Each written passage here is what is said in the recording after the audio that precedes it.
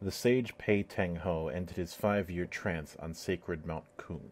When life returned to his eyes, the acolytes kowtowed and then quickly introduced their brushes, inks, and writing papers. The grandmasters of the various schools within the world of martial arts would know his answer to their question as soon as the messengers could carry them to the twelve provinces. The sage stretched his arms and legs, rubbed his bald head, and then spoke. The Chen dynasty is in decline. The reign of the previous emperor was a disaster. The people cannot cope with bandits, plagues, monsters from hell, oppressive taxation, the list goes on. The Grand Masters wish to know what can be done. I have their answer. Pei Tang Ho paused long enough to let the scribes copy down his words.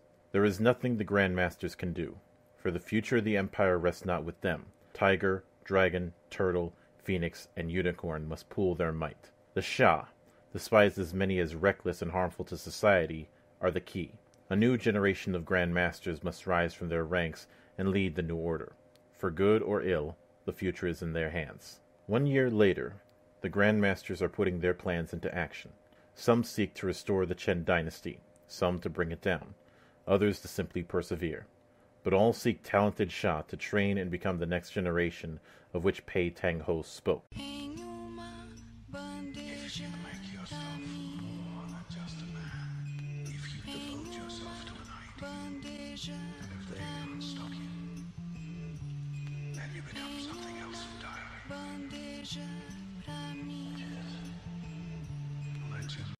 Hello there, ladies and gentlemen. My name is Mildra, and I will be your gaming monk for the evening.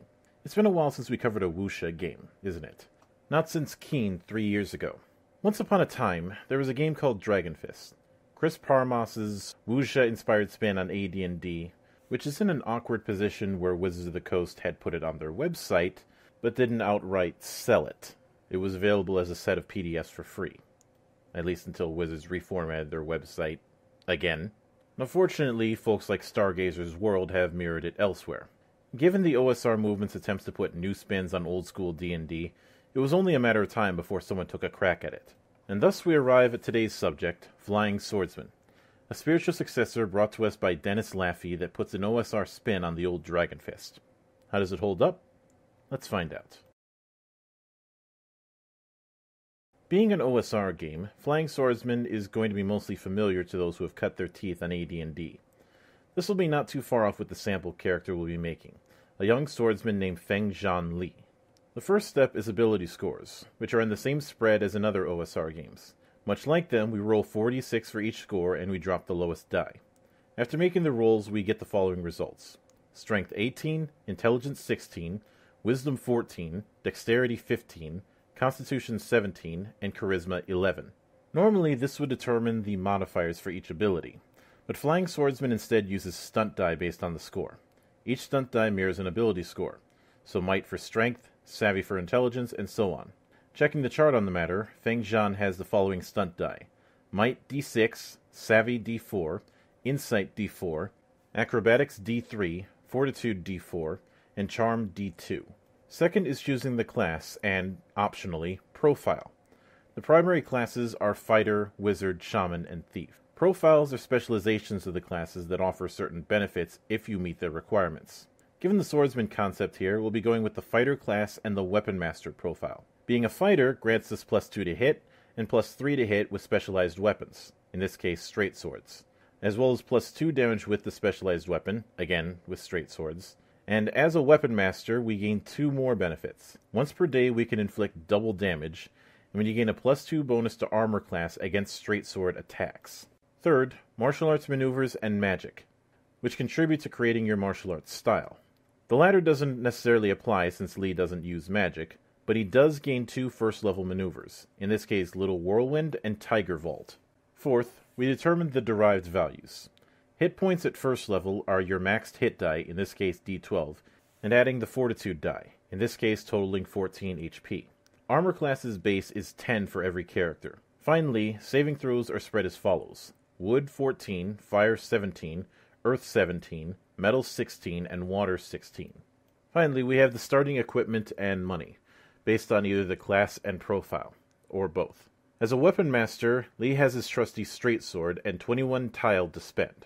We'll be spending that on fine clothing, 5 days of preserved food, and a wineskin, leaving us with only one tile. Character creation is pretty familiar if you've played at least one OSR game. If I have one little nitpick, it's the restriction on martial arts maneuvers when using profiles. Maybe it's just me, but I feel they go a bit too far towards acting like a drawback to the profile's benefits. If you'll excuse me putting on my own design hat, I'd rather prefer rewarding to sticking to a style rather than restricting. Once again, if you've played an OSR game before, you'll be familiar with most of the mechanics. Initiative is based on your action speed instead of being preset, and die rolls consist of a d20 roll plus or minus your stunt die based on the ability used. Magic wise, the two spellcasters use the stunt die differently.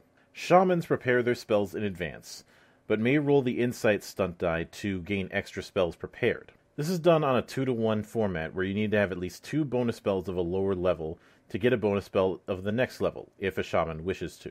In other words, a shaman who rolled a 3 can get two bonus first level spells and one second level spell, or three first level spells. Wizards, on the other hand, do not have to prepare in advance instead utilizing a set of spell slots based on their level that they can be used on any spell that they know, which is also, of course, based on those slots. Wizards with a profile can use a stunt die to gain bonus spell slots, but this does not add to the spells you know. The determining factor here is going to be the stunt system, since it is key to a lot of the mechanics, making each action not as much of a guarantee. It might be considered too random for some, but it's an admirable way to introduce a degree of dynamism to the encounters and mechanics. Flying Swordsmen does exactly what it says on the tin. It's a successor to Dragon Fist that brings it more in line with the stylings of the OSR. This, for me, is a double edged sword. You see, many times over the years I've heard the argument of just reskin it in regard to making mechanics and settings outside the norm with D&D. I'm not the biggest fan of this mindset, and I never have been, since even with all the name changing and the like, it's still the same thing at its core. To put it a bit more harshly, if you put lipstick on a pig, it's still a pig. I am fully aware of my own biases, but I feel like D&D in general is ultimately too rooted in its pastiches to work in other genres without significantly overhauling it. And by overhaul, I mean blow it up. Flying Swordsmen does an excellent job at attempting to blend wuxia and AD&D, but there's still the DNA there that struggles. As I mentioned before, I'm not completely fond of martial arts maneuvers being preset on the first three levels in profiles, and the spellcasting classes still feel too much like their D&D counterparts but I suspect taking it a bit further would have disrupted its OSR compatibility. On a positive note, as I mentioned before, I adore the potential the stunt system gives to make die rolls more descriptive and not as dependent on just the d20. I personally think it doesn't go as far as it should, but the potential is there nonetheless. Even with all this, while the game is a net positive, the highest rating I can give the game is playable. It definitely does what it says on the tin, but I feel like it doesn't quite reach its potential. Comparing it to the other OSR games I've reviewed at this point, I would say it's around the same tier as Hyperborea, but not on the same level as Adventure Conqueror King. While I'm not quite sure if AD&D is the best framework for this style of fantasy, that doesn't make Flying Swordsmen any less of a quality work.